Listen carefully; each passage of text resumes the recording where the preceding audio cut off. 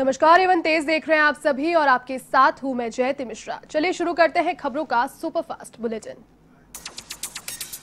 भारत चीन के बीच बढ़ते तनाव और बदलते आर्थिक रिश्तों का असर, द्विपक्षीय व्यापार पर स्वदेशी का हुआ असर। वित्त वर्ष 2019-20 में सात फ़ीसदी व्यापार गिरकर एक सौ नौ दशमलव छिहत्तर डॉलर रहा। ये भारत चीन व्यापार में सात साल की सबसे बड़ी गिरावट। भारत नेपाल बॉर्डर पर नेपाली पुलिस ने की अंधाधुंध फायरिंग, पाँच भारतीयों को मारी। नेपाली पुलिस ने गोली, एक की मौत, अन्य जख्मी। घटनाक्रम के बाद सीमा पर तनाव का माहौल। दुनिया भर में कोरोना का कोहराम जारी। अब तक पिछहत्तर लाख से ज़्यादा लोग हुए संक्रमित तो वहीं चार लाख तेईस हज़ार से ज़्यादा मरीजों की गई जान तो वहीं अड़तीस लाख से ज़्यादा मरीज़ इलाज के बाद हुए स्वस्थ। भारत में कोरोना संक्रमितों की संख्या पहुँची तीन लाख के करीब। अब तक आठ हज़ार से ज़्यादा मरीजों की हुई मौत तो वहीं एक लाख सैंतालीस हज़ार से ज़्यादा मरीज़ हुए इलाज के बाद ठीक। भारत में बेकाबू हो रहा कोरोना। ब्रिटेन को पीछे छोड़ अब दुनिया का चौथा प्रभावित देश। पिछले एक हफ़्ते में भारत में रोज दस हज़ार के करीब मामले आ रहे हैं सामने। पिछले 24 घंटे में टूटे सभी रिकॉर्ड। स्वास्थ्य मंत्रालय के द्वारा जारी मुताबिक, आधिकारिक आंकड़ों में मुताबिक 24 घंटे में दस नए मामले सामने आए। तीन सौ छियानवे लोगों की हुई देश भर से मौत। दिल्ली सरकार को सुप्रीम कोर्ट से कड़ी फटकार। अदालत ने पूछा कि जब मुंबई और चेन्नई जैसे शहर टेस्टिंग बढ़ा रहे थे तो आपने अपनी टेस्टिंग क्यों घटा दी? अस्पतालों में हालत बदतर। राजस्थान में कोरोना संक्रमण का बड़ा ग्राफ आज बयानवे नए कोरोना पॉजिटिव मामले आए सामने। प्रदेश में कोरोना संक्रमित मरीजों की संख्या हुई ग्यारह हज़ार नौ सौ तीस तो कोरोना से अब तक दो सौ उनहत्तर लोगों ने गवाई जान कोरोना महामारी को लेकर राहुल गांधी ने की अमेरिकी एक्सपर्ट राष्ट्रीय निकोलस। बर्न से चर्चा, कोरोना संकट समेत कई अहम मुद्दों पर हुआ संवाद। दुनिया भर के हालातों पर की चर्चा राहुल ने डेढ़ महीने में छठे एक्सपर्ट से की ये चर्चा। एक और बैंक पर आरबीआई की बड़ी कार्रवाई। अब कानपुर स्थित पीपल्स कोऑपरेटिव बैंक पर लगाया प्रतिबंध। छह महीने के लिए फंसा ग्राहकों का पैसा। आरबीआई ने छह महीने के लिए ग्राहकों को नए लोन लेने और डिपॉजिट स्वीकार करने से रोका। इसके अलावा बैंक से किसी डिपॉजिटर्स को रकम की निकासी करने की भी सुविधा फ़िलहाल नहीं मिलेगी। लॉकडाउन में पूरी सैलरी का मामला, सुप्रीम कोर्ट ने कहा, कंपनियों पर सख्त कार्रवाई नहीं होगी। इंडस्ट्री और वर्कर्स को एक दूसरे की ज़रूरत होती है, वो आपस में सुलझाए विवाद। गृह मंत्रालय ने उनतीस मार्च को जारी ऑर्डर में कहा था कि लॉकडाउन में कर्मचारियों की सैलरी नहीं काटी जाए तो वहीं कंपनीज़ का कहना है कि लॉकडाउन में प्रोडक्शन बंद होने की वजह से आर्थिक दिक्कतें। कोरोना संकट के बीच में यूएस के बाद भारतीय बाज़ार में हाहाकार। सेंसेक्स और निफ्टी में बड़ी गिरावट। सेंसेक्स 900 अंक लुटका निफ्टी 250 अंक कमज़ोर।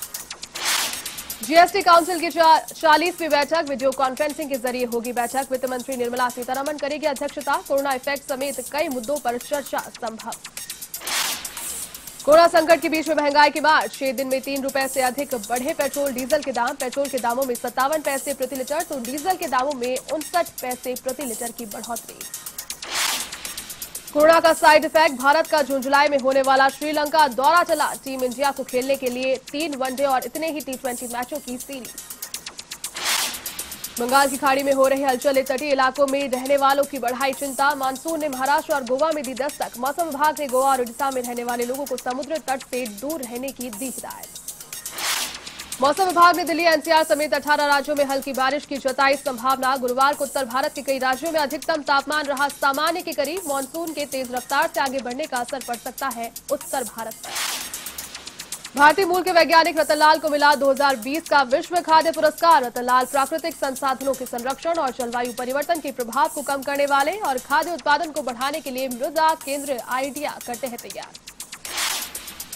सीबीआई ने इकतीस करोड़ के पीएनबी घोटाले मामले में कई जगहों पर मारे छापे। विशाखापट्टनम, कोलकाता, जम्मू, भुवनेश्वर और कटक में आरोपी के ठिकाने पर मारे छापे। दस्तावेज़ के जब्त। अश्वेत को यूज़ से अगली पढ़ाने पर बंगाल सरकार की कार्रवाई। दो टीचर सस्पेंड।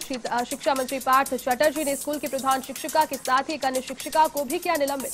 शिक्षा ने कहा कि निंदनीय है और आपराधिक मामला है, इसे बर्दाश्त नहीं किया जाएगा। द कपिल शर्मा शो का सेट मिस कर रही अर्चना पूरन सिंह। शेयर की थ्रो बैक तस्वीरें पिछले कई हफ्तों से सोशल मीडिया पर फैंस के साथ अपने लॉकडाउन लाइफ शेयर कर रही है अर्चना पूरन सिंह। राज्यसभा चुनाव को लेकर सियासत तेज। कांग्रेस ने प्रेस कॉन्फ्रेंस कर मोदी सरकार पर साधा निशाना। बीजेपी पर कांग्रेस विधायकों को तोड़ने की साजिश का लगाया आरोप। प्रेस कॉन्फ्रेंस में सीएम गहलोत ने साधा निशाना कहा हॉर्स राइडिंग के लिए टलवा गया चुनाव। दो लोगों की गलत राजनीति देश के लिए ठीक नहीं। दोनों सीटों पर जीतेगी कांग्रेस, इस पर किसी को भ्रम नहीं होना चाहिए। राज्यसभा चुनावों को लेकर बोले रणदीप सुरजेवाला, कहा, गहलोत की चक्की पिसती है तो अच्छे से पिसती है जो हमारी सरकार अस्थिर करेगा, उस पर कानून करेगा कार्रवाई। यूपी के रामपुर में स्वास्थ्य मंत्री अतुल गर्ग ने जिला अस्पताल का किया औचक निरीक्षण। कोरोना वायरस से बचाव की तैयारी को लेकर स्वास्थ्य मंत्री ने अस्पताल का किया निरीक्षण। अस्पताल में कई खामियाँ मिली, मंत्री ने दिए दिशा निर्देश। यूपी के रामपुर में युवती से दुष्कर्म का मामला आया सामने। गाँव के ही युवक ने अगवा कर दुष्कर्म किया। आरोपी मौके से हुआ फरार। पुलिस ने मुकदमा दर्ज कर जुटी आरोपी की तलाश में। यूपी के लखनऊ में सिपाही को गोली मारने का आरोपी विशाल शर्मा, पुलिस मुठभेड़ में हुआ घायल। एसीपी दीपक कुमार के नेतृत्व में इंस्पेक्टर जी के उपाध्याय की टीम को मिली सफलता। आरोपी कई सनसनीखेज लूट की वारदातों में था फरार। आगरा जनपद के चंबल नदी में वन विभाग की ओर से चलाया गया वन संरक्षण अभियान लुप्त जलीय जीव घड़ियाल, मगरमच्छ, डॉल्फिन, कछुआ को लेकर चलाया गया संरक्षण अभियान। अब लुप्त जलीय प्रजाति को बढ़ा कुंबा। वन विभाग के कर्मचारी बनाए हुए हैं निगरानी। बारह के शाहबाद क्षेत्र में 11 केवी लाइन की चपेट में आया ट्रक। हादसे में झुल से ट्रक खलासी रमेश को शाहबाद अस्पताल में कराया भर्ती तो वहीं ट्रक में लगी आग को बुझाई स्थानीय लोगों ने। जयपुर में कृषि मंत्री लालचंद कटारिया के जन्मदिन पर कई कार्यक्रमों का हुआ आयोजन। टिगी रोड स्थित पंचमुखी गौशाला में कांग्रेस कार्यकर्ताओं ने गायों को खिलाया हरा चारा। इस दौरान जिला कांग्रेस महासचिव ललित किशोर, रामप्रकाश गढ़वाल, प्रेमचंद्र आदि मौजूद। भरतपुर के रुदावल में उड़ी सोशल डिस्टेंसिंग की धज्जियाँ। दुकानदारों की लापरवाही पड़ सकती है। आमजन पर भारी सब्ज़ी मंडी में लगी लोगों की भीड़। बारह के अंता में पुलिस ने कार से दो किलो इक्यानवे ग्राम सोना किया जब्त बिना बिल के सोने से बनी चेन और सोने के छोटे बड़े टुकड़े किए बरामद। पुलिस पूछताछ में कार सवार शख्स ने खुद को आभूषण बनाने वाला कारीगर बताया। दूसरी ओर पकड़े गए सोने की कीमत बताई जा रही है दो करोड़ रुपए। भीलवाड़ा में आबकारी विभाग की 19 दुकानों को खोलने का रास्ता हुआ साफ़। कोरोना लॉकडाउन में छूट के बाद ठेके की लॉटरी प्रक्रिया हुई शुरू। 15 जून तक मांगे गए आवेदन तो वहीं 18 जून को खोली जाएगी लॉटरी। कोरोना लॉकडाउन के चलते पहले पाँच बार निरस्त हो चुकी है लॉटरी। किसान कल्याण कर को हटाने की मांग, एक बार फिर पकड़ा ज़ोर मेड़ता सिटी कृषि मंडी के व्यापारियों ने एसडीएम के आर चौहान को सीएम के नाम सौंपा ज्ञापन और कृषि जिनसों पर लगाए गए किसान कल्याण कर को पूरी तरीके से हटाने की रखी मांग।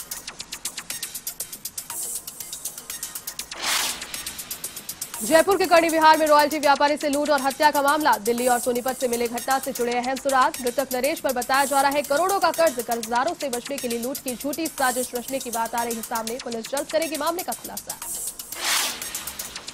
बारह के पाजन टोरी गाँव में दूसरा कोरोना पॉजिटिव मिलने पर।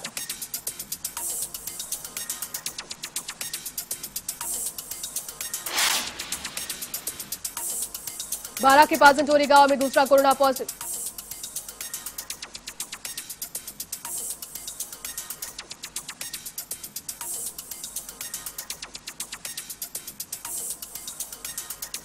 बारह के पाजनटोरी गाँव में दूसरा कोरोना पॉजिटिव मिलने पर चिकित्सा विभाग सतर्क। चिकित्सा कर्मियों ने गाँव में सत्रह लोगों के लिए लिए थे सैंपल, जिसमें एक युवक की रिपोर्ट आई है पॉजिटिव। युवक के संपर्क में आने वाले लोगों को किया गया क्वारंटीन। अलवर के भिवाड़ी में कोरोना के 30 से अधिक कोरोना पॉजिटिव केसेस मिलने के बाद प्रशासन सतर्क। लगातार मामले बढ़ने से औद्योगिक नगरी में मची अफरा तफरी कोरोना संक्रमण को देखते हुए दुकानों को अब सुबह सात से शाम सात बजे तक खोलने का लिया निर्णय। पुलिस ने बाज़ार में किया फ्लैग मार्च।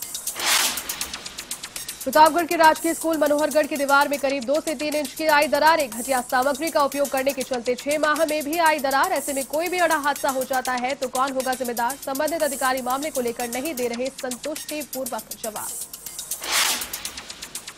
चौकी पिपलू क्षेत्र में बजरी से भरे वाहन की टक्कर से बाइक सवार एक युवा की हुई मौत। हादसे की सूचना पर मृतक के परिजनों ने पिपलू अस्पताल में किया हंगामा। पुलिस प्रशासन के आला अधिकारियों से की समझाइश, मृतक के परिजनों ने की पूरे मामले में निष्पक्ष जाँच की मांग। सवाई माधोपुर के मलारना डूंगर में बजरी के अवैध परिवहन के खिलाफ कार्रवाई। खनन विभाग और पुलिस ने की संयुक्त कार्रवाई। खनन माफियाओं के चार ट्रैक्टर ट्रॉली किए जब्त अलवर के बांसुर में गर्मी से गहराया पेयजल का संकट। आमजन की समस्या पर जलदाय विभाग के अधिकारी बने मूक दर्शक। ग्रामीणों ने पेयजल संकट दूर करने के लिए विधायक से लगाई गुहार। जालौर के भीनमाल में नगर पालिका ने चलाया सफ़ाई अभियान। शहर में जगह जगह लगे गंदगी के ढेर को हटाया। लोगों को साफ़ सफ़ाई के प्रति किया जागरूक। साफ़ सफ़ाई व्यवस्था की मॉनिटरिंग के लिए टीम का किया गठन। भीलवाड़ा के बिजोलिया में संदेह के घेरे में अवैध खनन मामले पर हुई कार्रवाई। एक आरोपी को बचाने पर किया गया प्रयास। शिकायतकर्ता ने की पूरे मामले में दोबारा जाँच कराने की मांग। भरतपुर के बयाना में बंद बारेठा की सड़क पूरी तरीके से क्षतिग्रस्त। व्यापार संघ ने लिखा, सांसद और विधायक को पत्र, जल्द ही सड़क निर्माण कराने की की मांग मांडलगढ़ में धार्मिक स्थल को खोलने को लेकर धर्मगुरुओं की बैठक, सुझावों के आधार पर प्रशासन करेगा धार्मिक स्थल को खोलने का निर्णय। सरकार की गाइडलाइंस का भी सख्ती से किया जाएगा पालन। डूंगरपुर जिला धीरे धीरे कोरोना से हो रहा है मुक्त ज़िले में तीन सौ बयासी पॉजिटिव केसेस में से तेईस केस ही एक्टिव, दो सौ बहत्तर मरीज़ पूरी तरीके से हो चुके हैं स्वस्थ, शेष मरीजों को वार्ड में किया गया शिफ्ट। आगरा में एटीएम से कैश चोरी की बड़ी वारदात, छह लाख रुपए कैश बदमाश ने की चोरी, थाना जगदीशपुरा क्षेत्र में हुई वारदात, पुलिस छुटी आरोपी की तलाश में। कोविड 19 को लेकर भारत, नेपाल सीमा सील होने के बावजूद मादक पदार्थों की तस्करी जारी। नेपाल के रास्ते तस्करी कर रहा युवक रियाज को एक किलो 200 ग्राम नेपाली चरस के साथ किया गिरफ़्तार। आरोपी मादक पदार्थों की तस्करी में पहले भी जा चुका है जेल। यूपी के अटा में एक ही परिवार में सात कोरोना पॉजिटिव। स्वास्थ्य विभाग और जिला प्रशासन हुआ अलर्ट। पूरे इलाके को हॉटस्पॉट क्षेत्र किया घोषित। यूपी के झांसी में बुज़ुर्ग महिला की गला दबाकर की हत्या, बदमाश सोने के आभूषण लेकर हुए फरार, पुलिस छुटी आरोपियों की तलाश में। कोरोना संक्रमण के बीच मैचिंग मास्क का ट्रेंड हुआ शुरू। अजमेर में जोरों पर है शेरवानी विद मास्क का चलन। व्यापारियों ने बदलते ट्रेंड को किया फॉलो।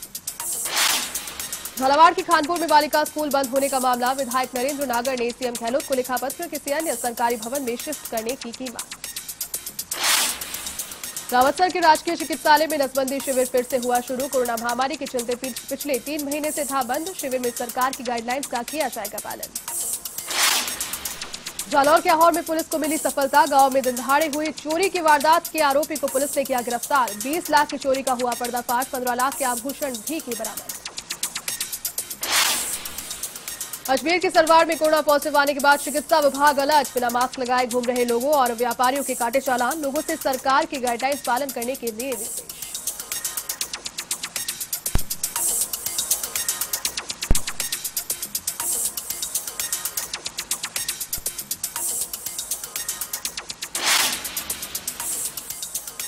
चलिए फ़िलहाल के लिए इस बुलेटिन में बस इतना ही। देश और दुनिया की तमाम बड़ी खबरों को देखने के लिए आप देखते रहिए एवन टीवी नमस्कार।